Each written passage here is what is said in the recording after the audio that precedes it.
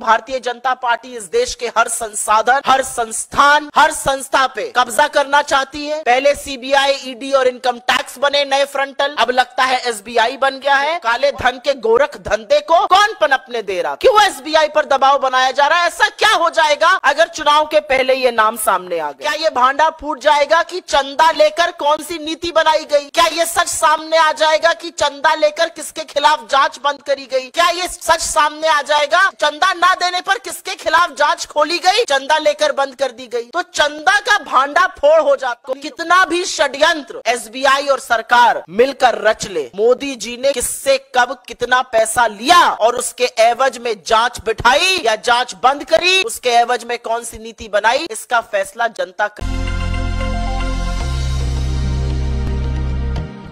करेगी। हमारे इस मंच से कुछ सवाल है और सवाल बड़े स्पष्ट है और बड़े कम है। पहला सवाल हमारा यह है कि इस देश का सबसे बड़ा सरकारी बैंक पूरी तरह से कंप्यूटराइज बैंक एसबीआई को 22,200 इलेक्टोरल 217 इलेक्टोरल बॉन्ड देने के लिए पाँच महीने का समय क्यों चाहिए? यह तो एक क्लिक ऑफ़ अ बटन पर होना चाहिए।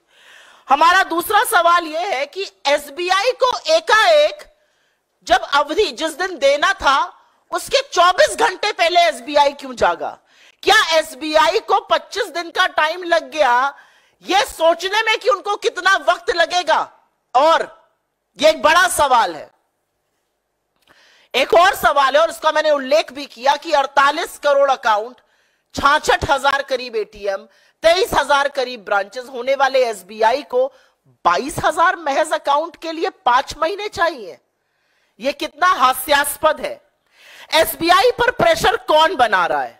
इस आर्थिक अनियमितता को इस काले ध, काले धंधे के काले धन के गोरख धंधे को कौन पनपने दे रहा था? क्यों एसबीआई पर दबाव बनाया जा रहा है? ऐसा क्या हो जाएगा अगर चुनाव के पहले ये नाम सामने आ गए?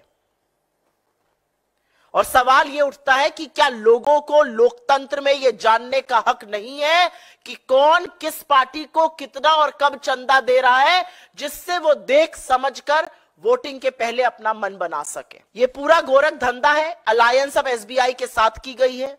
हम लोग शुरू से कह रहे हैं कि भारतीय जनता पार्टी इस देश के हर संसाधन, हर संस्थान, हर संस्था पे कब्जा करना चाहती है। पहले सीबीआई ईडी और इनकम टैक्स बने नए फ्रंटल अब लगता है एसबीआई बन गया है। और समझना ज़रूरी है कि कितना भी षड्यंत्र एसबीआई और सरकार मिलकर रच ले मोदी जी ने किससे कब कितना पैसा लिया और उसके एवज में जाँच बिठाई या जाँच बंद करी, उसके एवज में कौन सी नीति बनाई, इसका फैसला जनता करेगी क्योंकि जनता सब देखती और सब समझती है। यहाँ पर यह बताना ज़रूरी है कि भारतीय जनता पार्टी शुरू से असहज थी। 2017 में जब यह स्कीम आई और पिछले वित्तीय वर्ष के अंत तक 31 मार्च 2023 तक करीब 12,000 करोड़ रुपए इलेक्टोरल बॉन्ड के माध्यम से पॉलिटिकल पार्टीज़ को मिले जिसमें दो तिहाई अकेले भारतीय जनता पार्टी को मिले।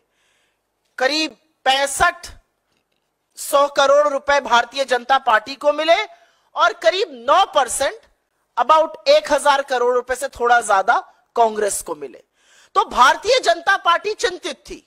चिंतित इसलिए थी क्योंकि अगर लोगों का नाम सार्वजनिक हो गया तो पता चल जाएगा कि कौन सा मित्र कितना दे रहा था, क्यों दे रहा था। यहाँ पर आपको एक और रिपोर्ट का, की याद दिलानी ज़रूरी है। एक रिपोर्ट आई थी न्यूज़ लॉन्ड्री और न्यूज़ मिनट ने करी थी। उन्होंने कहा था, तीस ऐसी कंपनियों का नाम सामने आया है जिन्होंने 335 करोड़ 2018 से 2023 के बीच में भारतीय जनता पार्टी को दिए, इनके खिलाफ कार्रवाई हुई थी, चाहे वो इनकम टैक्स हो सीबीआई हो या ईडी हो। इसमें से 23 कंपनियाँ ऐसी थी जिन्होंने कभी इसके पहले चंदा नहीं दिया था। तो क्या ये क्विड प्रो को था? क्या नाम आने से पता चल जाएगा कौन चंदा दे रहा था? क्या नाम आने से पता चल जाएगा किस समय चंदा दिया गया? क्या ये भांडा फूट जाएगा कि चंदा लेकर कौन सी नीति बनाई गई? क्या ये सच सामने आ जाएगा कि चंदा लेकर किसके खिलाफ जाँच बंद करी गई? क्या ये सच सामने आ जाएगा कि चंदा लेकर किसके, चंदा ना देने पर किसके खिलाफ जाँच खोली गई? चंदा लेकर बंद कर दी गई। तो चंदा का भांडा फोड़ हो जाता इसलिए एसबीआई का कहना है कि हमें 2024 30 जून तक का वक्त चाहिए। चुनाव निपट जाएगा। चुनाव के पहले आ गया तो जो हम कह रहे हैं सूट बूट की सरकार, जो हम कहते हैं मित्रों की सरकार, जो हम कहते हैं कि कुछ ही लोगों के लिए नीति निर्माण होता है, वो दूध का दूध, पानी का पानी हो जाएगा। लेकिन जनता को इतना मूर्ख क्यों समझा जाता है? जब जब सच दबाने का प्रयास होगा तो जनता पूरा सच समझती है।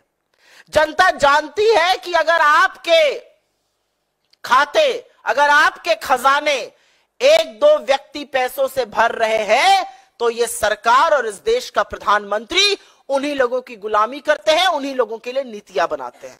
आप आजकल कुछ दिनों से अगर किसी भी साइट पर चले जाइए, इंटरनेट की कोई भी चीज़ देखिए, वहाँ पर दांत चियारे हुए, हँसते, मुस्कुराते, आत्ममुग्ध हमारे देश के प्रधानमंत्री हर पोर्टल पर, हर साइट पर, हर वेबसाइट पर नज़र आते थे, क्योंकि बीजेपी खूब धड़ाधड़ पैसा इतना है इलेक्टोरल बॉन्ड से छुपाया जा रहा है, पानी की तरह बह रहा था वो पैसा।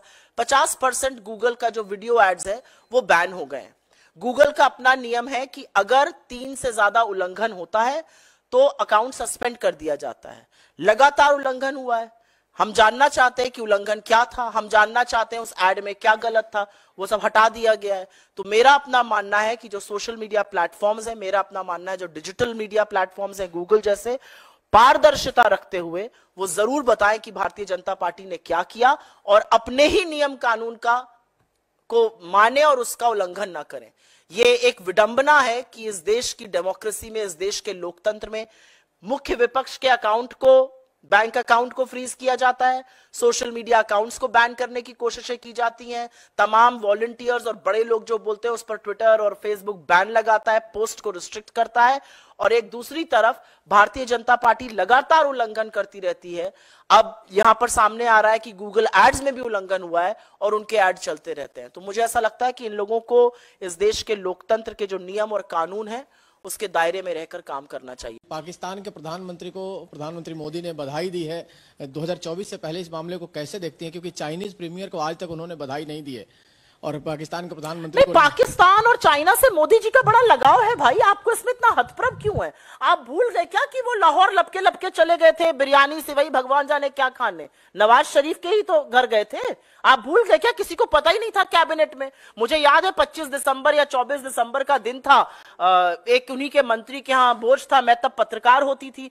वहाँ पर वित्त मंत्री अरुण जेटली जी बैठे हुए थे। भगवान उनकी आत्मा को शांति दे। हम लोगों ने पूछा आपको पता है? उन्होंने कहा मुझे तो नहीं पता है।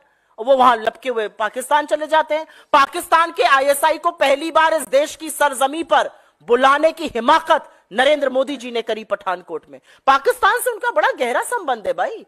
बहुत मानते हैं पाकिस्तान को वो। 18 18 बार जब चाइना जाते हैं या 30 30 बार जब शी जिनपिंग से मिलते हैं, आप गए किसी अपने दोस्त को लेकर महाबलीपुरम में नारियल पानी पीने और शहनाई सुनने? मोदी जी गए थे। आप बैठे हैं साबरमती के तट पर झूला झूलते हुए अपने किसी दोस्त के साथ। मोदी जी ने झूला है। मोदी जी ने अपने दोस्त को सबसे बड़ी क्लीन चिट दी और वही दोस्त बार बार कहता है उन्नीस उन्नीस लेवल की कोर कमांडर की टॉक में चाइना का पीएलए क्या कहता है? आपका प्रधानमंत्री कहता है कोई घुसा हुआ नहीं है। हमारे बीस जाबाजों की शहादत होगी बड़ा प्रगाढ़ संबंध है, बड़ा गहरा संबंध है। बहुत दोस्ती है, बहुत प्रेम है।